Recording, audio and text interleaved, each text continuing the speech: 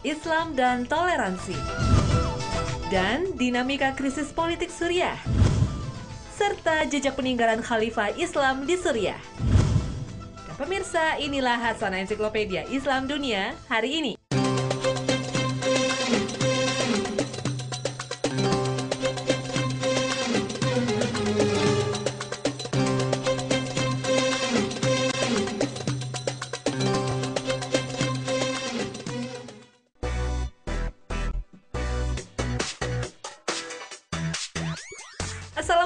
Warahmatullahi wabarakatuh. Selamat pagi pemirsa Trans 7 Hasanah Ensiklopedia Islam Dunia Pagi ini kembali hadir untuk melengkapi Hasanah Pengetahuan Islam Dunia ke hadapan Anda. Dan Hasanah hari ini akan kami awali dengan prinsip-prinsip toleransi dalam ajaran Islam. Islam adalah agama tauhid yang berkembang pesat hingga saat ini. Islam diterima oleh berbagai bangsa di dunia, antara lain karena keagungan nilai yang terkandung dalam ajarannya. Teladan nilai ditunjukkan oleh Rasulullah Muhammad SAW sebagai nabi pembawa risalah tauhid. Beliau berhasil mempesona bangsa Arab untuk memeluk agama Islam. Rasulullah sangat tegas memberantas keyakinan bangsa Arab yang mentuhankan berhala-berhala dan mengubah keyakinan mereka menjadi la ilaha illallah tiada Tuhan selain Allah. Namun, Rasulullah tak memaksa sebagian penduduk bangsa Arab yang masih mempertahankan keyakinannya dalam agama Yahudi dan Nasrani. Karena dalam surat Al-Baqarah ayat 256, Allah berfirman bahwa tidak ada paksaan untuk memasuki agama Islam. Inilah prinsip toleransi keagamaan yang menjadi teladan sehingga agama Islam berkembang pesat di mana-mana. Nabi Muhammad tidak mengusik kaum yang masih mempertahankan keyakinan dan syariat seperti yang diturunkan pada nabi-nabi terdahulu yang bersumber dari satu Tuhan. Sebagaimana dijelaskan dalam Al-Quran, Surat Ashura ayat 13. Dia telah mensyariatkan bagi kamu tentang agama apa yang telah diwasiatkan kepada Nuh, dan apa-apa yang telah kami wahyukan kepadamu, dan apa yang telah kami wasiatkan kepada Ibrahim, Musa, Isa, yaitu tegakkanlah agama, dan janganlah kamu berpecah belah tentangnya. Umat Islam juga diwajibkan untuk beriman pada para nabi terdahulu sebelum Nabi Muhammad. Allah Subhanahu wa taala berfirman dalam surat Al-Baqarah ayat 136. Katakanlah hai orang-orang mukmin, kami beriman kepada Allah dan apa yang diturunkan kepada kami dan apa yang diturunkan kepada Ibrahim, Ismail, Ishak, Yakub dan anak cucunya dan apa yang diberikan kepada Musa dan Isa serta apa yang diberikan kepada nabi-nabi dari Tuhannya. Kami tidak membeda-bedakan seorang pun di antara mereka, dan kami hanya tunduk kepadanya.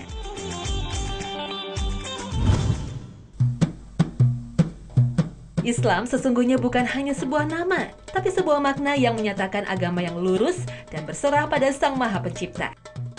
Inilah akidah yang sama yang dibawa oleh nabi-nabi terdahulu meskipun berbeda syariatnya. Oleh karena itulah, Al-Quran menyebutkan bahwa Nabi Ibrahim adalah seorang muslim. Ia bukanlah seorang Yahudi maupun Nasrani. Dia adalah seorang yang lurus lagi berserah diri kepada Allah. Dia sama sekali bukan termasuk golongan orang-orang musyrik. Suatu keyakinan agama atau akidah menuntut satu kerelaan dan kepuasan. Karena itu, tidak ada paksaan untuk memeluk agama Islam. Bahkan sebagai wujud keindahan agama Islam yang sangat toleran terhadap pemeluk kepercayaan lain, Islam melarang umatnya melanggar hak-hak non-muslim. Bahkan Islam membolehkan umatnya berbuat baik kepada mereka. Meski toleran dan mengakui adanya perbedaan, namun untuk urusan akidah, Islam tetap berpendirian pada tiada Tuhan selain Allah dan berkeyakinan bahwa bagimu agamamu dan bagiku agamaku. Perbedaan agama jangan sampai menghalang umat Islam untuk berbuat kebajikan dan menjalin silaturahmi. Apalagi ajaran Islam sangat menekankan adab bertetangga. Umat Islam diperintahkan untuk menjaga pertetanggaan, menerima mereka dengan baik jika mereka bertamu, melindungi tempat ibadah mereka, dan tidak mencampuri urusan akidah mereka. Prinsip-prinsip toleransi dicontohkan oleh Rasulullah antara lain setelah hijrah dan menetap di Madinah. Rasulullah mengikat perjanjian dengan kaum Yahudi Madinah yang dikenal dengan perjanjian Hudaibiyah. Umat Islam dan kaum Yahudi bersepakat untuk saling menghormati akidah masing-masing dan bersama-sama menjaga keamanan Madinah. Rasulullah memiliki tetangga ahli kitab dan bergaul dengan mereka, bahkan sering memberi hadiah.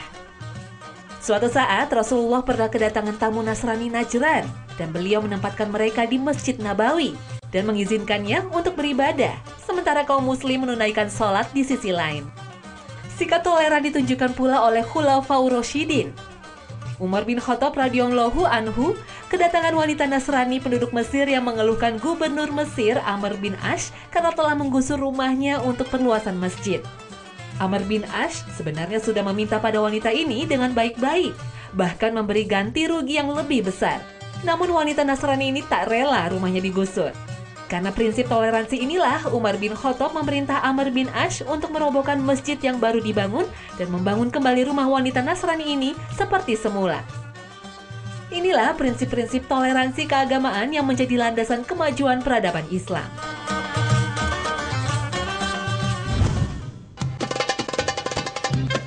Pemirsa Asana, selanjutnya akan kami hadirkan krisis Suriah dan jejak peninggalan para khalifah Islam di Suriah. Jangan ke mana-mana, tetap di Hasanah Ensiklopedia Islam Dunia.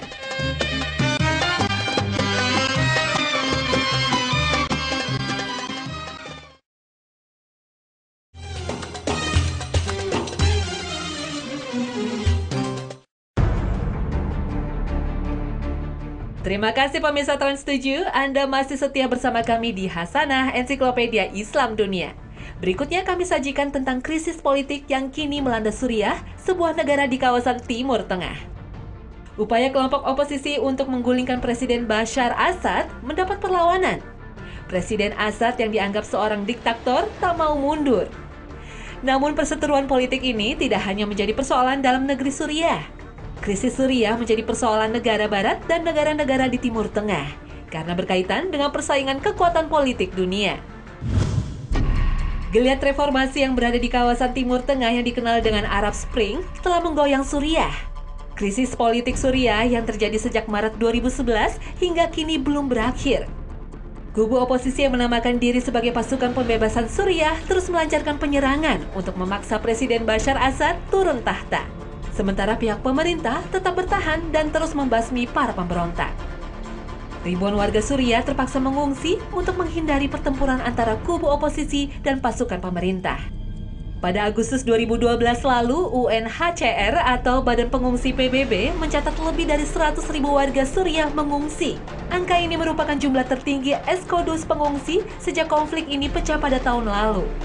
Jumlah pengungsi akan terus bertambah. Kebanyakan dari mereka lari ke Turki, Irak, Libanon, dan Yordania. Aksi kekerasan dan pemboman masih terus berlangsung secara sporadis. Upaya perdamaian dilakukan PBB tak kunjung berhasil. Bahkan akses bantuan dari berbagai lembaga sosial pun tersendat karena kebuntuan politik. Presiden Amerika Serikat Barack Obama mengancam akan menyerang Suriah jika tentara Suriah menggunakan senjata kimia untuk menghadapi kelompok oposisi. Pihak Amerika sejak awal berusaha menggunakan intervensi militer untuk menyelesaikan konflik Suriah, sebagaimana yang diterapkan pada Irak. Namun, intervensi militer yang dimotori Amerika Serikat ini ditolak Rusia dan China, yang juga menjadi anggota Dewan Keamanan PBB dan memiliki hak veto. Berdasarkan sensus tahun 2010, Suriah yang berpenduduk lebih dari 22 juta penduduk ini dihuni oleh mayoritas Muslim Sunni sekitar 74 persen, Muslim Alawi Syiah sekitar 16 persen, dan sekitar 10 persen penganut Kristen dan agama lainnya. Melihat statistik tersebut, banyak pengamat beranggapan bahwa krisis Suriah merupakan pertarungan antara Islam Sunni versus Syiah. Kubu pemerintah yang didukung oleh Iran dianggap representasi dari Syiah, sementara kubu oposisi yang didukung Arab Saudi dan Qatar dianggap membawa paham Sunni. Namun, persoalan Suriah sesungguhnya merupakan pertarungan kekuatan politik dunia yang melibatkan negara-negara superpower seperti Amerika Serikat, Israel, Rusia, dan China. Rezim Bashar al-Assad dituding sebagai diktator yang membela kepentingan Barat di Timur Tengah mengikuti jejak ayahnya Hafiz al-Assad. Terbukti, Suriah berdiam diri saat penyerahan dataran tinggi Golan ke Israel pada tahun 1967. Dalam konflik di Timur Tengah, keberpihakan Suriah sudah bisa dibaca. Dalam Perang Teluk I, Suriah mendukung Iran melawan Irak. Suriah juga mendukung Amerika dalam serangan terhadap Irak. Presiden Assad ikut berkontribusi besar terhadap agenda Barat yang disebut Global War Against Terrorists. Namun, sekarang situasinya berbalik. Amerika yang dulu mendukung Suriah kini dianggap ingin menggulingkan kekuasaan Presiden Assad. Jose Rizal jurnalis, seorang relawan medis dari Mercy yang banyak terlibat dalam perjuangan Palestina melawan Israel, menilai lengsernya Presiden Assad menguntungkan bagi pihak Amerika dan Israel. Agenda barat ini untuk memotong jalur logistik Hizbullah yang beraliran Syiah di Lebanon dan membungkam biro politik Hamas yang beraliran Sunni di Damaskus. Karena kedua organisasi ini yang berjuang melawan Israel. Selain itu, runtuhnya rezim Assad akan mengikis pengaruh Rusia di Timur Tengah. Sementara bagi Arab Saudi dan Qatar, menggusur Presiden Bashar Assad yang merupakan pengikut Syiah Alawiyin akan mengurangi kekuatan Syiah di Timur Tengah sekaligus menjegal pengaruh Iran. Dibandingkan ayahnya Hafiz Assad, Presiden Bashar Assad dinilai memiliki kebijakan politik yang berbeda terhadap konflik Palestina-Israel. Presiden Assad memiliki komitmen dalam perjuangan Palestina. Sebagai buktinya, Suriah membuka kamp pengungsi Palestina di Yarmouk Surya juga menerima Hamas yang beraliran Sunni untuk berkantor di Damaskus. Sementara negara-negara Arab lainnya menolak Hamas untuk membuka perwakilan di negaranya. Negosiasi damai yang diinisiasi PBB menemui jalan buntu. Liga Arab terus mendesak Presiden Bashar Assad untuk mengundurkan diri dan meninggalkan Suriah. Seolah-olah tak ada jalan lain bagi Suriah kecuali perang. Pertempuran antara kubu oposisi dan tentara pemerintah makin memuncak dan sudah menembus jantung kota di Damaskus. Rakyat yang jadi korban, mereka kehilangan harta, keluarga, dan jiwa. Dan kini berbagai peninggalan penting yang menjadi jejak dinasti Islam di Suriah ikut terancam hancur. Masjid Agung Damaskus atau Masjid Umawi misalnya. Pada 8 abad yang lalu, Masjid Umawi merupakan mercusuar Islam yang penting dalam penyatuan wilayah Islam di Tanah Syam yang meliputi Palestina, Suriah, Libanon, dan Yordania. Kini, masjid yang bernilai historis ini menjadi tempat yang banyak dikunjungi para peziarah. Di masjid ini terdapat makam Salahuddin Al-Ayyubi, pahlawan terkenal dalam sejarah Islam. Masjid ini konon menyimpan sebuah kuil kecil yang berisi kepala sang pembaptis Yohanes yang dianggap nabi oleh umat Kristiani. Bahkan pada tahun 2001, Paus Yohanes Paulus II sempat mengunjungi masjid ini terutama untuk mengunjungi relik Yohanes sang pembaptis. Dalam krisis Suriah ini, Masjid Umawi yang menjadi lambang kejayaan dinasti Islam menjadi titik penting bagi kelompok oposisi untuk menumbangkan rezim Al-Assad. Langkah kelompok oposisi ini mengikuti jejak Salahuddin Al-Ayyubi yang lebih dulu menguasai Masjid Umawi dari kekuasaan Syiah Fatimiyah sebelum menguasai Al-Quds atau Yerusalem. Jika krisis politik tak kunjung berakhir, tidak hanya Masjid Umawi, beberapa peninggalan sejarah yang menjadi jejak dinasti Islam lainnya ikut terancam punah. Selanjutnya, jejak para khalifah Islam di Suriah akan kami hadirkan di Hasanah Ensiklopedia Islam Dunia.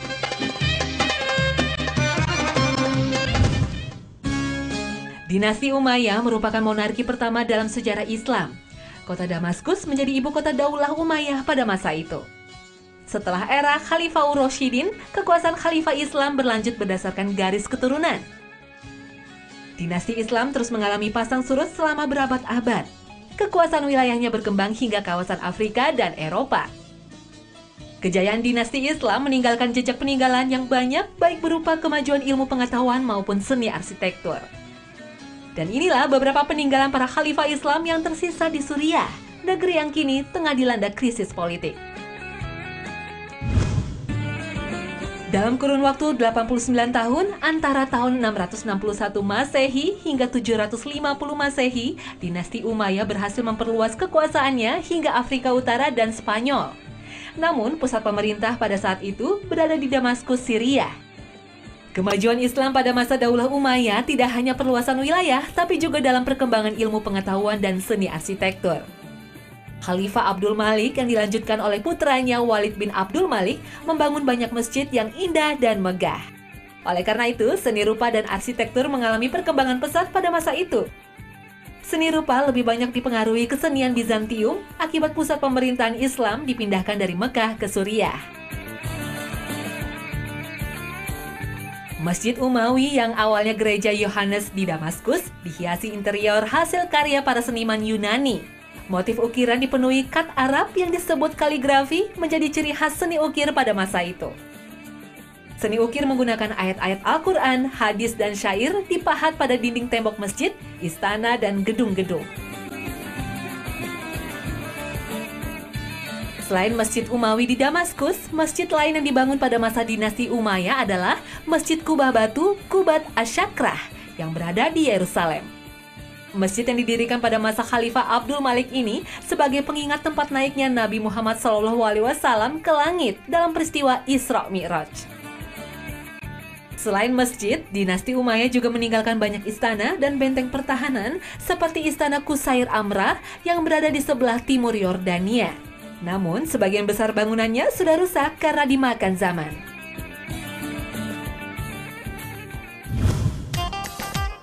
Benteng Atul Hosen menjadi saksi peristiwa penting Perang Salib. Benteng yang berada di kawasan Homs, sekitar 177 km dari ibu kota Damaskus ini, dikenal pula dengan nama Crack des Chevaliers. Bangunan asli benteng ini dibangun oleh seorang gubernur muslim yang bermarkas di kota Halab pada tahun 1031 Masehi. Pada Perang Salib pertama tahun 1099 Masehi, benteng ini sempat direbut oleh pasukan Kristen yang dipimpin Panglima Prancis Raymond IV. Benteng ini lama dalam kekuasaan pasukan Kristen. Baik pasukan Nuruddin Zinki maupun Salahuddin Alayubi gagal merebut benteng ini. Benteng ini baru jatuh ke tangan pasukan Islam pada tahun 1271 Masehi pada masa dinasti Mamluk oleh Sultan Baibar. Menara tertinggi di Kol Atul Hosen akan terlihat di ujung menara benteng lain yang berjarak puluhan kilometer yang berada di tepi pantai. Para penjaga menara ini berkomunikasi dengan bendera di siang hari dan di malam hari dengan api unggun untuk menyampaikan pesan adanya pasukan musuh. Konon, benteng ini sengaja didesain untuk bertahan menghadapi kepungan musuh hingga lima tahun. Tak heran di dalamnya disiapkan segala perbekalan mulai dari sumber air, gudang minuman dan makanan, serta lorong-lorong rahasia yang terhubung ke desa-desa yang berada di bawah bukit.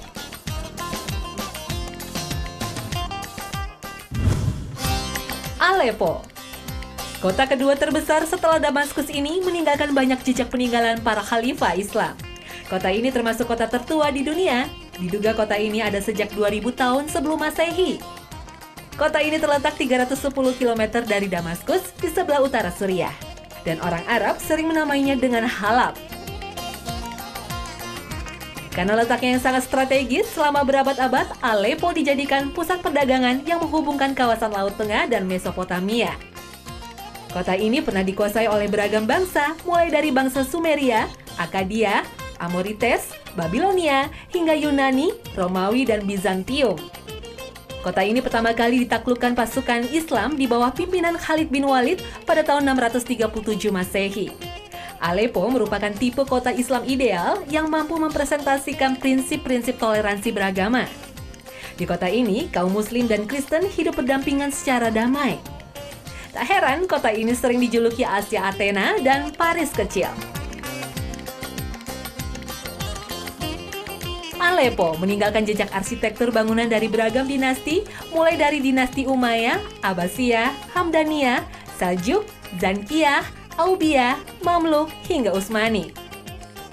Kota ini pernah mencapai puncak kejayaan pada era dinasti Ayubiyah tahun 1183 Masehi hingga 1260 Masehi.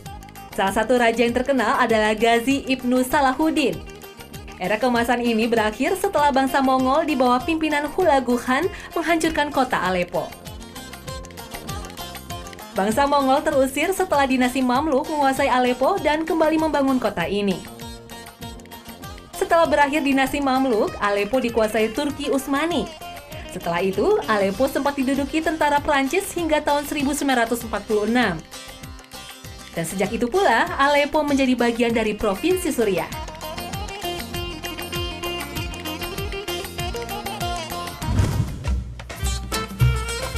Bangunan yang terkenal di kota Aleppo adalah Benteng Aleppo. Benteng Aleppo awalnya dibangun oleh bangsa Neohet Akropolis sekitar 6 abad sebelum Masehi. Pada masa Sultan Hamdanid yang berkuasa antara tahun 944 Masehi hingga 967 Masehi, Benteng Aleppo dijadikan pusat pertahanan militer. Benteng Aleppo atau Citadel Aleppo termasuk kastil tertua dan terluas di dunia berbentuk elips dengan panjang sekitar 450 meter dan lebar 325 meter dengan ketinggian 50 meter dari kaki bukit. Bangunan benteng mengelilingi bukit di tengah kota Aleppo dan dibangun dari batu gamping yang mengkilat. Benteng Aleppo dikelilingi parit dengan kedalaman 22 meter dan lebar 30 meter yang berfungsi sebagai pelindung benteng dari penyelundup. Pada masa dinasti Ayubiyah di bawah kekuasaan Sultan Al-Zahir Al-Ghazi, benteng Aleppo mengalami rekonstruksi besar-besaran, sehingga kawasan bangunan menjadi lebih luas seperti terlihat saat ini. Masjid Aleppo dibangun oleh Sulaiman bin Abdul Malik dari dinasti Umayyah. Masjid ini merupakan salah satu karya besar arsitektur dalam dunia Islam. Masjid ini selesai dibangun pada tahun 717 Masehi, kemudian diperluas pada tahun 1158 Masehi pada masa Nuruddin Zangi. Secara arsitektur, Masjid Agung Damaskus dan Masjid Aleppo memiliki kemiripan. Kedua masjid ini mengundang banyak peziarah karena di Masjid Aleppo terdapat makam Nabi Zakaria. Sementara di Masjid Agung Damaskus terdapat makam Nabi Yahya. Masjid Agung Aleppo mengalami banyak perubahan dari asalnya karena masjid ini sempat hancur diguncang gempa bumi dan dihancurkan oleh serangan tentara Bizantium dan tentara Mongol. Bagian masjid yang masih asli dan tersisa adalah halaman yang dikelilingi tembok, kubah, dan air mancur. Selebihnya, masjid ini hasil renovasi yang dilakukan dinasti Seljuk pada abad ke-11 Masehi. Inilah berbagai karya arsitektur peninggalan para khalifah Islam di Suriah. Sayangnya bangunan-bangunan bersejarah ini terancam kelestariannya akibat konflik politik di Suriah.